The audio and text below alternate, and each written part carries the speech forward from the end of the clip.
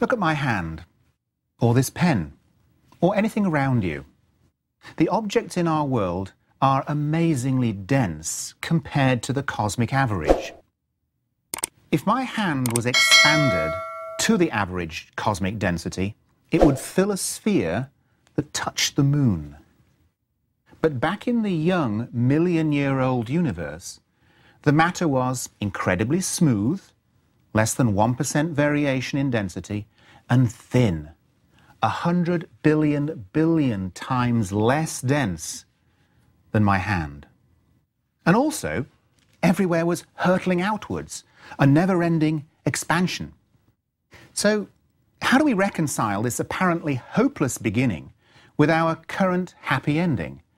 Some extraordinary things must have happened to bridge these two very, very different scenes.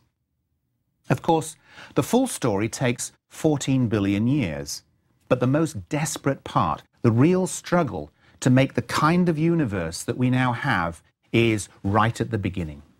Somehow, by just 200 million years, what had been an expanding, thin, hot gas filled with sound waves became a cold, dark universe, sprinkled with brilliant points of light, the first stars. It's really quite an extraordinary and rapid transformation. Actually, if we look at the human parallel that sees 14 billion years as the human lifetime, that 200 million year period corresponds appropriately to the nine month gestation period just as the DNA of the first cell is gradually assembled into a human embryo, so the primordial fluctuations, the cosmic DNA, laid down by inflation, grow over this period, transforming beyond all recognition into the first stars. So the story of how this transformation took place is the topic for this lecture, from sound to the first stars. Here's a diagram that gives you the overall situation. We start with a very smooth, expanding universe, and dotted about are places of slightly higher density. Now, initially, the expansion is both global, the whole universe expands, and local. Even the denser regions expand.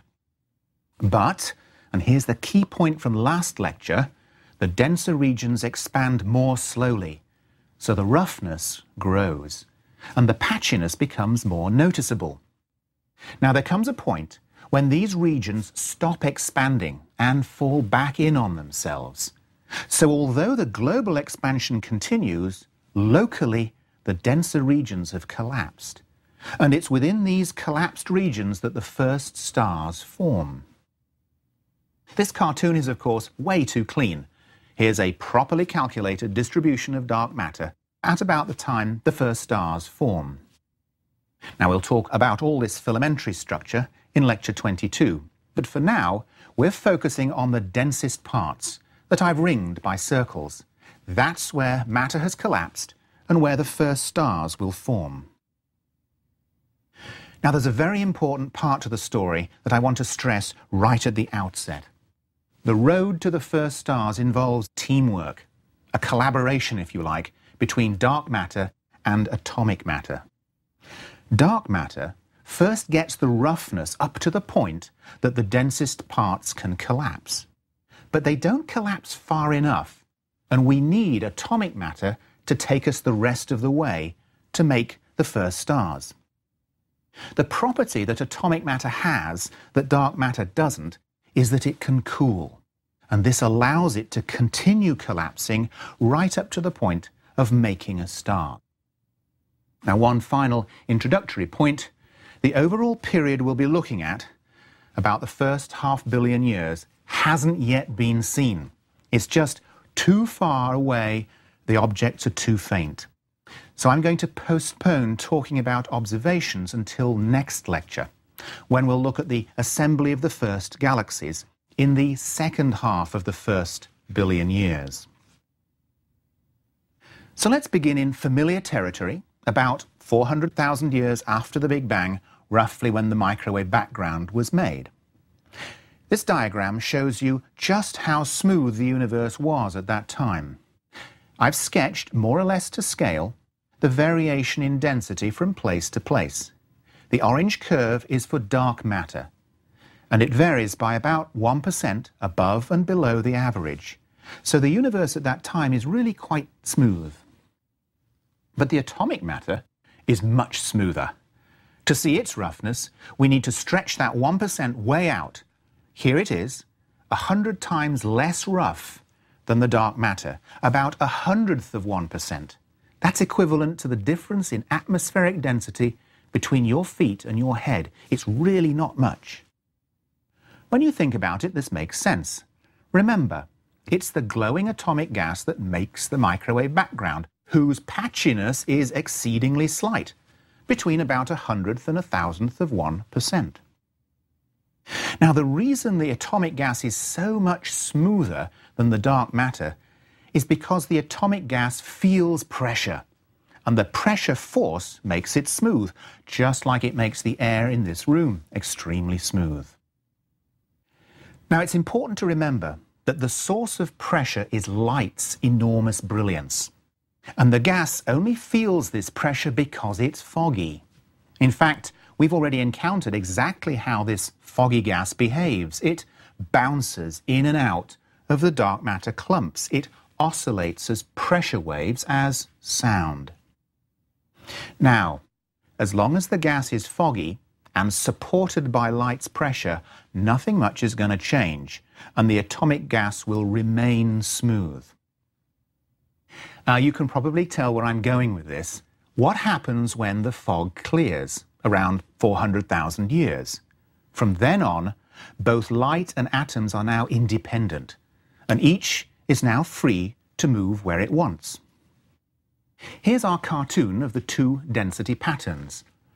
After fog clearing, the atomic matter is now free to move downhill towards wherever the dark matter is denser, away from wherever it's less dense.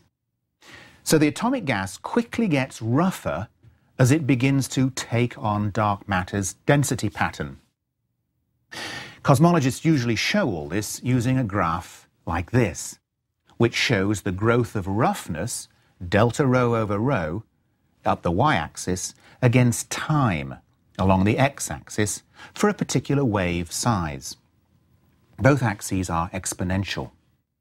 There are two curves, one for dark matter's roughness in purple, and the other for atomic matter's roughness in green.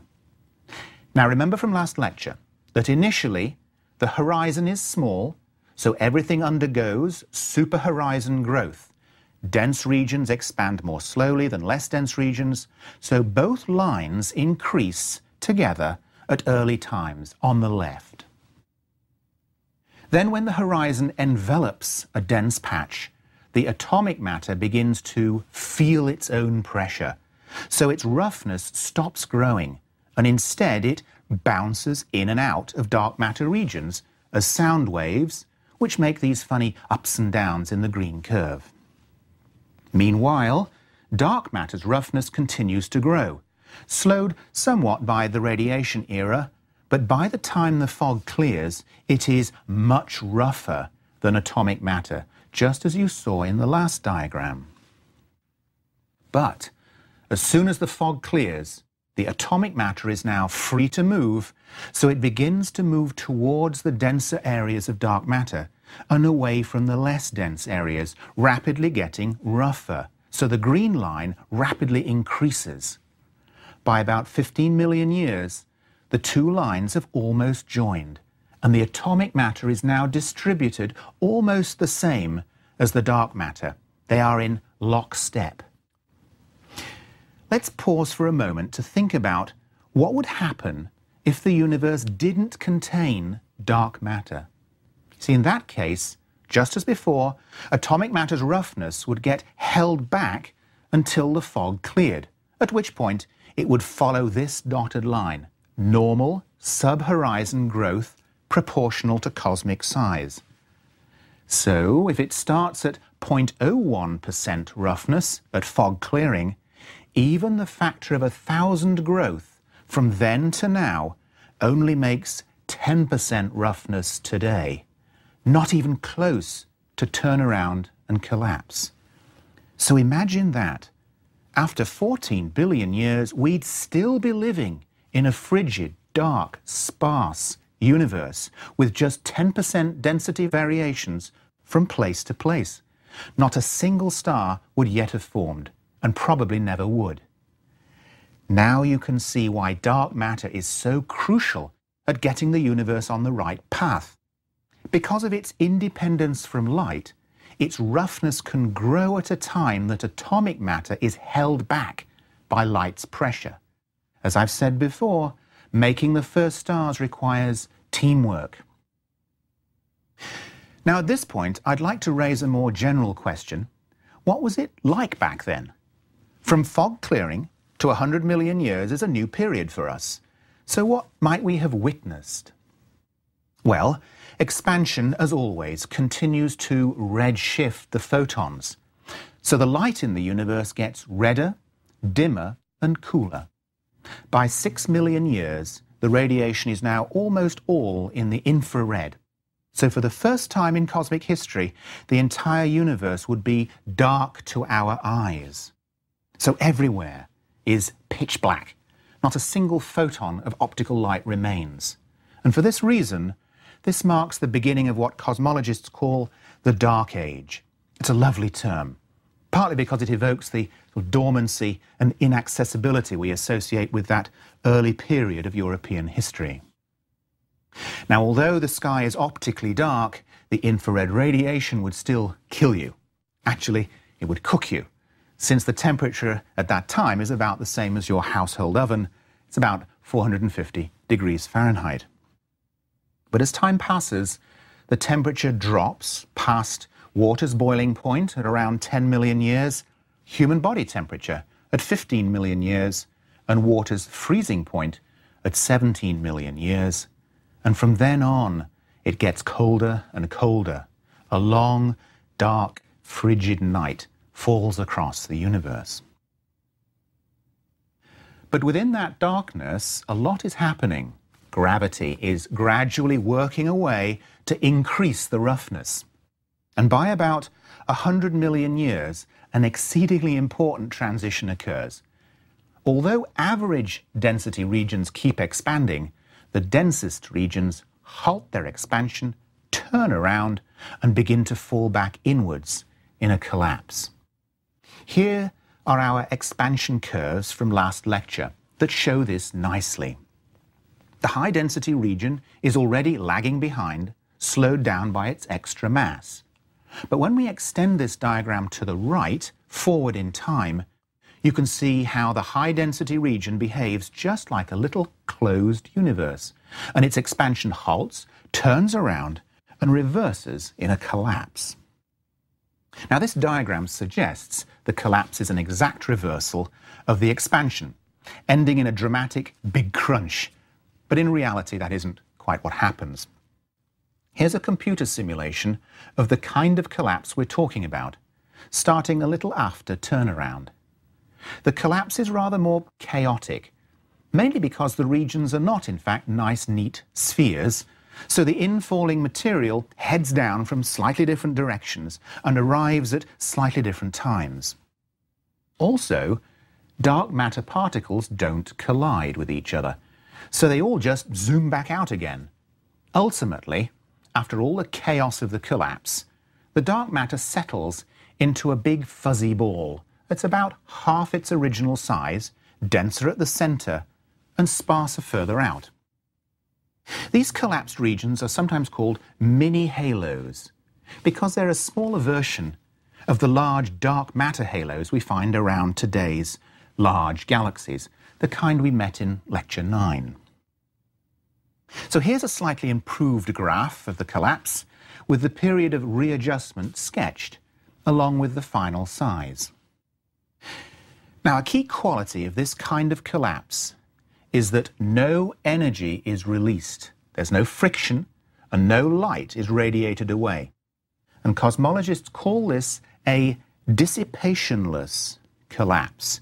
No energy is dissipated. This is extremely important because it means the collapse can't continue very far. And these mini halos only collapse to roughly half their starting size. Now that factor 2 decrease in radius boosts the density by a factor of 8, 2 cubed. And during the collapse, of course, the rest of the universe continues to expand. So when the mini halo finally forms, its density is only about 200 times greater than average, which of course is a significant increase, but it's nowhere near enough to make stars. What we have here are the wombs within which stars can now form. So let's now look at how that happens, how the atomic matter behaves as it gets caught in the collapse of these dark matter mini halos. Well, right off the bat, atomic matter is different in two crucial ways. First, its atoms collide with each other, and this gives the gas pressure, which of course tends to slow the collapse. But those very same atomic collisions can also create photons that leave the system. They might be infrared or light or radio photons, it doesn't matter. They remove some of the gas's energy. So because the gas radiates, it can cool. So its pressure drops, so gravity can pull it down to a much smaller size where it reaches a much higher density. Cosmologists call this kind of collapse collisional and dissipative. The atoms collide to make pressure and they dissipate energy. And these two qualities are crucially different from dark matter. And they allow the atomic matter to collapse much further down and reach the kind of densities needed to form stars. Now, excuse me. Now, ultimately, what gives atomic matter this advantage is that it contains tiny charges electric charges, electrons and protons. And so when atoms get close, they deflect, they collide. And the jostled charges make photons. See, dark matter particles have no charge. They, need, they neither collide nor make photons. Remember, they're dark. So let's now look at some recent attempts to model this combined dark matter, atomic matter formation of the first stars. By now, you should be getting used to the way in which cosmologists work. In addition to making observations and developing physical theories, they also try to calculate what happens on a computer as accurately as possible. Here's one of those computer simulations. As you'd expect, both atomic and dark matter start out very smooth. But by about 100 million years, the dark matter, along the bottom, has collapsed into a few denser mini halos that form at the intersection of a web of lower density filaments. It's in these denser mini halos that the first stars will form.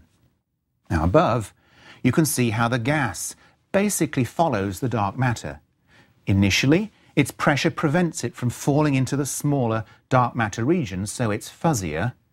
But as these smaller regions merge and grow, they are massive enough perhaps a million times the mass of the Sun, to pull in the gas, where its ability to cool causes it to collapse into a very small volume, utterly invisible on this plot. Now, this movie shows a zoom into that central clump, starting from a region a few thousand light years across and ending with a region a few light hours across. It's equivalent to zooming into a city to see a single ant sitting on your finger. That final region is roughly the size of the solar system and contains about 200 solar masses of gas moving inwards. Now, at that point, the computational methods hit their limit, but it seems fairly certain that those 200 solar masses will collapse down into a single massive star. Now, these and similar calculations all suggest a single massive star forms at the center of a dark matter mini halo. The halos are a few thousand light years in size. They contain about a million solar masses of dark matter and a hundred thousand solar masses of atomic gas and a single star at the center. These first objects are sometimes called microgalaxies because they're about a millionth of the mass of the present-day Milky Way type galaxy. These microgalaxies are dotted around the young universe wherever there were peaks in the original lumpy distribution of dark matter. So a typical separation between two stars might be 10,000 light years, about the distance between the Sun and the centre of our galaxy. These first stars provide what is called first light. The universe ended its 100 million year dark, cold night in a wonderful new dawn, as the light from this new population of brilliant stars flooded out into space. So let's now look at these first stars in more detail. For example, were they like the Sun or other stars in our sky? The answer is probably not. We think they were very unusual compared to today's stars, primarily because their composition was different. They were made from essentially pure hydrogen and helium with no heavier elements. Now, in today's universe, atomic matter contains 1 or 2% heavier elements, things like oxygen or carbon or iron. And even this small fraction significantly changes how stars form and how they live out their lives. Now, the crucial property that heavy elements contribute is an increased ability of the gas to cool. When atoms of heavier elements collide, their more complex electron orbits are jostled more easily, which make photons that can carry away energy, cooling the gas. So in today's universe, a star-forming gas cloud is a very frigid 10 degrees Kelvin. But in the young universe, a pure hydrogen-helium gas cloud couldn't cool below about 250 degrees Kelvin. Now, why is this relevant? It's because hotter gas has higher pressure, and this resists gravitational collapse. So more mass must gather before a final runaway collapse can make a star.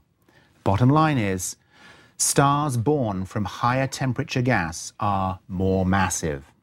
In the case of the first stars, they're thought to be a few hundred times more massive than the Sun. Now, such massive stars really don't exist in today's universe. Most stars are around the mass of the Sun or less, and a few can reach a maximum of about 60 solar masses. So these first stars were truly unusual by today's standards.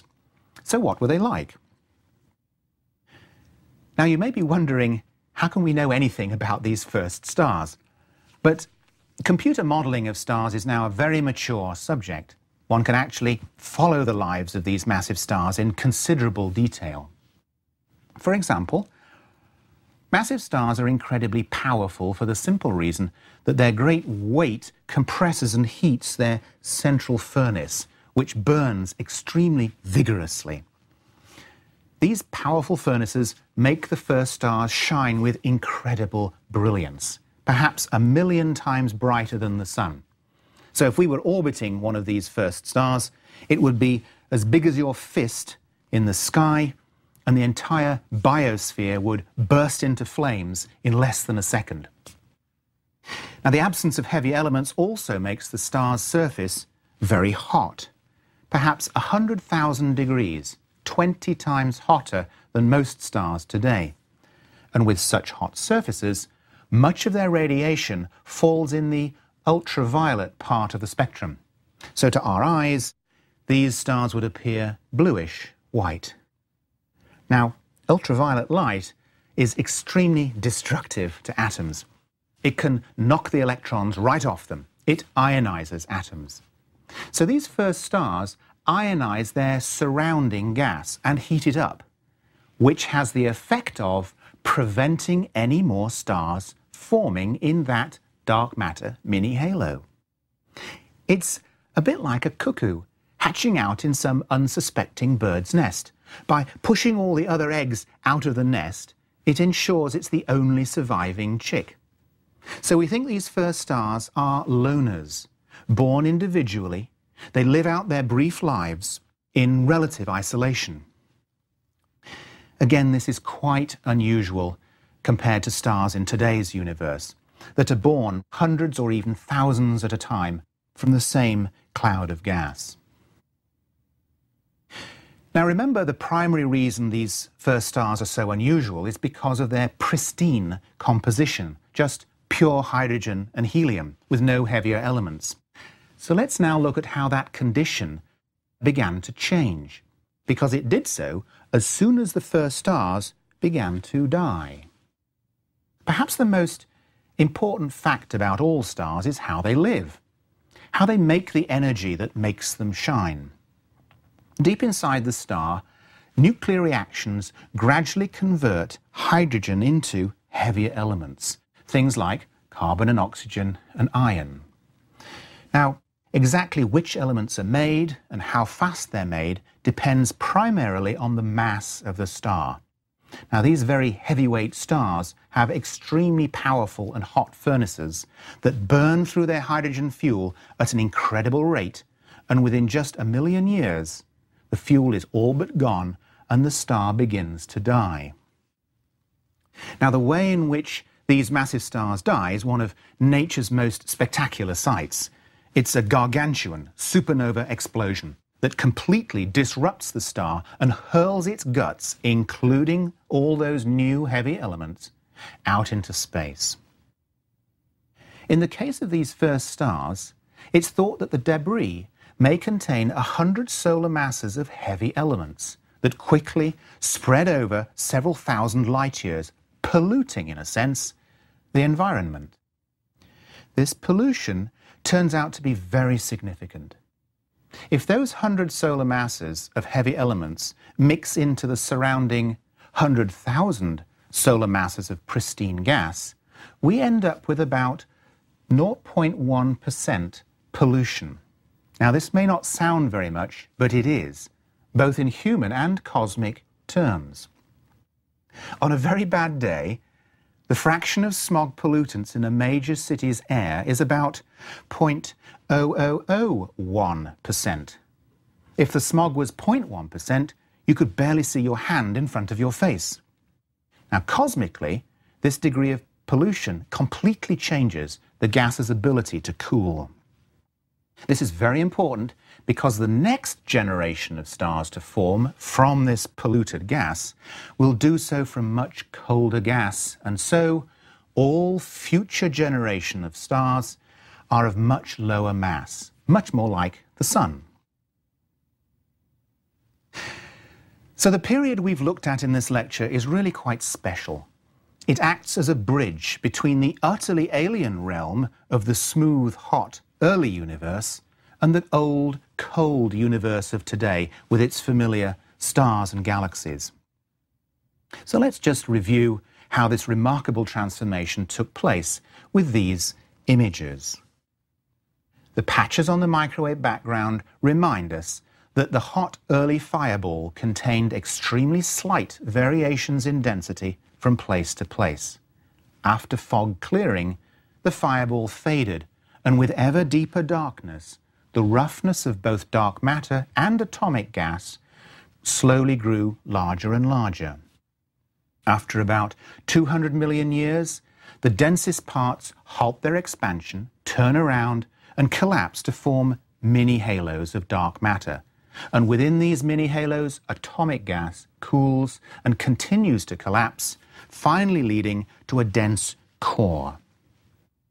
With only poor cooling available, this warm core undergoes runaway collapse to form a very massive star. These first stars live brief but brilliant lives, which light up the whole universe for the first time since the original fireball. The stars quickly die in powerful supernovae that spew freshly made heavy elements out into the surrounding gas, forever changing the way in which future generations of stars will form. Returning to our human metaphor that sees these first 200 million years as the dark period of gestation which slowly assembles the first structures, it ends, of course, dramatically with the birth of these first stars, which marks the emergence of the kind of universe we now find ourselves in. As we'll see in the next lecture, the newborn infant has emerged kicking and screaming, and the fireworks have just begun.